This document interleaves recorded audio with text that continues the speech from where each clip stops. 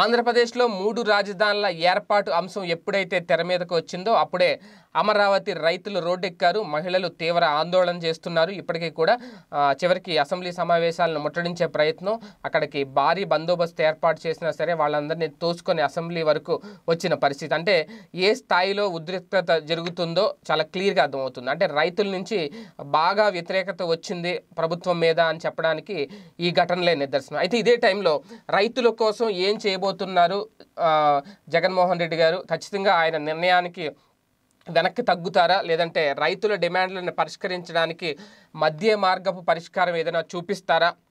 అసలు రైతుల డిమాండ్లు ఏంటి? ఇవన్నీ పెట్టిన ఇవన్నీ ఒక చర్చకు వచ్చిన సమయంలో వాళ్ళ దగ్గర వచ్చిన డిమాండ్లు అలాగే గత ప్రభుత్వం ఇచ్చిన హామీలను ఇవన్నీ క్షుణ్ణంగా పరిశీలించిన ముఖ్యమంత్రి వైఎస్ జగన్మోహన్ రెడ్డి గారు అసెంబ్లీ సాక్షిగా రైతులకు కొన్ని వరాలను ప్రకటించారు. రైతులకు సంబంధించి కొన్ని కీలక నిర్ణయాలు తీసుకున్నారు.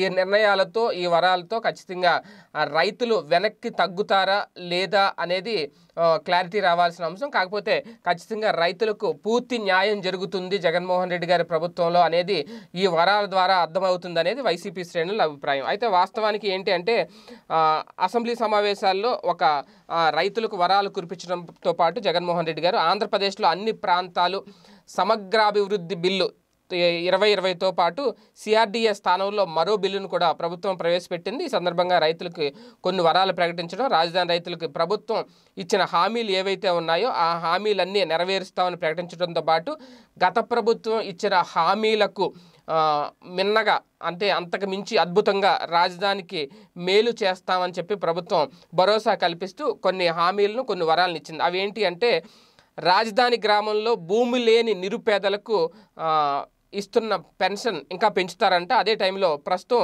రెండు వేల ఐదు వందలు ఇస్తున్నారు కాబట్టి దాన్ని ఐదు వేలకు పెంచుతూ ప్రభుత్వం నిర్ణయం తీసుకుంది. అలాగే భూములు ఇచ్చిన పట్టా రైతులతో సమానంగా అసైన్డ్ భూములు ఇచ్చిన వారికి కూడా రిటర్న్ ప్లాట్లు కేటాయిస్తారు. అంటే గతంలో పట్టా భూములకు ఓ ఓ లెక్కన అసైన్డ్ భూములకు మరో ప్రాతిపదికన ఇలాగ రిటర్న్ ప్లాట్లు కేటాయిస్తారని ప్రభుత్వం చెప్పింది. కాకపోతే ఇప్పుడు ఏంటి అంటే భూములు ఇచ్చిన పట్టా రైతులతో సమానంగా అసైన్డ్ భూములు ఇచ్చిన వారికి కూడా రిటర్న్ ప్లాట్ అనేది కేటాయించేస్తామని చెప్పారు. అలాగే అసైన్డ్ భూముల రైతులకు వెయ్యి గజాల నివాస స్థలం కేటాయిస్తున్నారు. అలాగే అసైన్డ్ భూముల రైతులకు రెండు వందల యాభై గజాల వాణిజ్య స్థలం అంటే నా ఇంతకుముందు నేను చాలా వీడియోలు చెప్పాను. రెసిడెన్షియల్ అలాగే కమర్షియల్ ప్లాట్లు కేటాయిస్తున్నారు కాబట్టి ఇప్పుడు ఇందులో అసైన్డ్ భూములు ఇచ్చిన రైతులకు కూడా నివాస స్థలం వెయ్యి గజాలు అలాగే వాణిజ్య స్థలం అంటే కమర్షియల్ ఫ్లాట్ రెండు వందల యాభై గజాలు రెసిడెన్షియల్ ఫ్లాట్ వెయ్యి గజాలు. అలాగే గతంలో జరీబు భూముల రైతులకు ఏటా కౌలు యాభై వేల రూపాయలు చెల్లించారు. దాన్ని ప్రస్తుతం యాభై ఐదు వేలకు పెంచుతూ ప్రభుత్వం ప్రతిపాదించింది. అలాగే గతంలో మెట్ట భూములకు సంబంధించి ముప్పై వేల రూపాయలు చెల్లించేవారు. ఇప్పుడు దాన్ని ముప్పై మూడు వేలకు పెంచుతూ నిర్ణయం తీసుకుంది ప్రభుత్వం. అలాగే గతంలో రైతులకు కవులు పదేళ్ళు ఇవ్వాలని టీడీపీ ప్రభుత్వం నిర్ణయించింది. ఇప్పుడు జగన్ ప్రభుత్వం దాన్ని పదిహేను సంవత్సరాల పాటు పెంచుతూ ఇవ్వాలని నిర్ణయం తీసుకుంది. అంటే ఇక నుంచి కవులకి ఇవ్వాలి అనుకుంటే ఏ రైతైనా తమ పొలాన్ని కౌలుకి ఇవ్వాలనుకుంటే పదిహేనేళ్ళ పాటు కౌలుకి ఇవ్వాలన్నమాట పదేళ్ళకి ఇవ్వడం కుదరదు. సో ఇలాగా అన్ని రకాలుగా రైతులకు మంచి వరాలు కురిపించారు జగన్మోహన్ రెడ్డి గారు. అసైన్డ్ భూములకు సంబంధించి కౌలు రైతులకు సంబంధించి భూములు ఇచ్చిన రైతులకు సంబంధించి మొత్తం అందరికీ కూడా ఒక దీన్ని ఒక ప్రత్యేక ప్యాకేజ్ అనుకోవాలో ఒక జగన్మోహన్ రెడ్డి గారు వరాలు అనుకోవాలో తెలియదు కానీ గత ప్రభుత్వం ఇచ్చిన హామీలు ఏవైతే ఉన్నాయో అంతకు మించి ఎక్కువగా హామీలు వాళ్ళకి ఇస్తానన్న దానికి మిన్నగా హామీలు వరాలు కురిపించారు. మరి దీనికి సంబంధించి రైతులు అలాగే రైతుల తరపున పోరాటం చేస్తున్న జేఏసీ ఏదైతే ఉందో వాళ్ళు ఏమన్నా వీటి మీద చర్చించి ఒక నిర్ణయం తీసుకుంటారా? ఏంటనే చూడాలి. మొత్తం మీద మొదటి రోజే అసెంబ్లీ సమావేశాల్లో రైతులకు జగన్మోహన్ రెడ్డి గారు వరాలు కురిపించడం అనేది హర్షణీయమే.